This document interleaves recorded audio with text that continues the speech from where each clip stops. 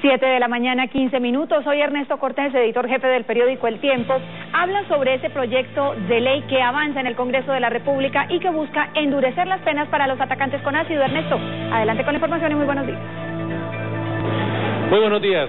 El eh, Congreso de la República, para ser más exactos, la Comisión Primera del Senado aprobó ayer en tercer debate un proyecto de ley que endurece las penas para los agresores contra personas eh, a través de ácidos, esa, esa cosa terrible que hemos registrado en los medios de comunicación de mujeres que han sido atacadas con ácido, principalmente por hombres. Pues está conmigo esta mañana la doctora Gloria Estela Díaz, ella es representante de la Cámara por el movimiento Mira y es una de las principales impulsoras de este proyecto de ley. Doctora Gloria Estela, bienvenida a Río Bogotá y exactamente qué fue lo que aprobó el, el Congreso de la República el día de ayer. Muy buenos días, Ernesto. Un cordial saludo para usted y para todos los televidentes. Efectivamente, ayer la Comisión Primera del Senado aprobó en tercer debate por unanimidad un proyecto de ley que pretende incrementar las penas para los agresores de ataques con ácido. O sea, ¿ya había penas para las personas que agredían con ácido a las mujeres? En el actual Código Penal estaba considerado como una lesión personal. La pena que había era de 1 a 9 años, era la máxima.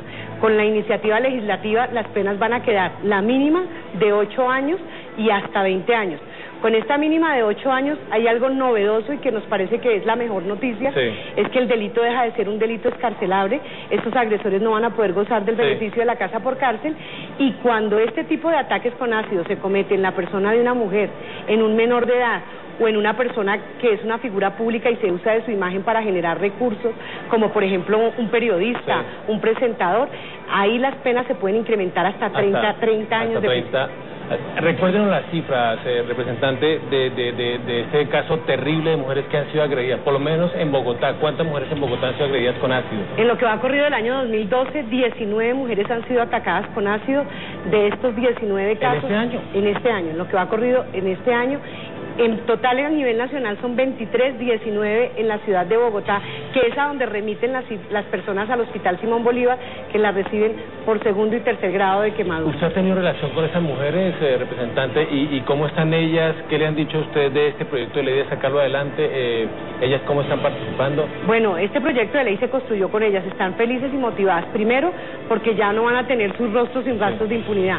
Segundo, porque el proyecto de ley también busca que haya por parte del Estado una ruta de atención integral. Van a tener asistencia jurídica, asesoría psicológica y cirugía reconstructiva y estética. ¿Eso contempla el proyecto sí, señor.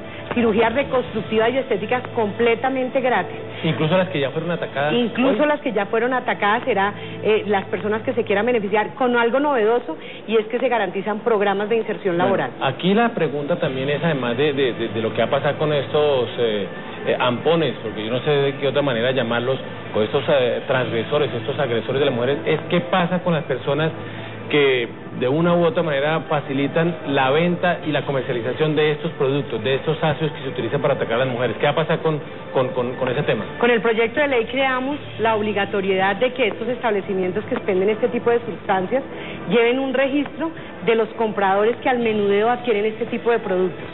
Si no cumplen con esto, estos establecimientos se verán enfrentados a la suspensión y si hay reincidencia a la cancelación de la licencia de funcionamiento. ¿Qué hace falta para, para que este proyecto ya sea una ley de la República? Solamente un debate, la discusión en la plenaria del Senado, pero con lo que vimos hoy, al día de ayer, perdón, en la comisión primera del Senado, creemos que hay voluntad política y esperamos que a más tardar en marzo del año entrante esta ley ya esté rigiendo en Colombia. Pues ojalá a, partir de, de marzo del próximo año empiece a regir esta ley que la necesitan las mujeres por los beneficios adicionales que trae, pero sobre todo para que este delito no siga en la impunidad, para que este delito se castigue severamente. No puede aceptar una sociedad que las mujeres sigan siendo atacadas de manera tan terrible como las mujeres que hemos visto desfiguradas y con una vida limitada por culpa de estos agresores con ácido en sus rostros.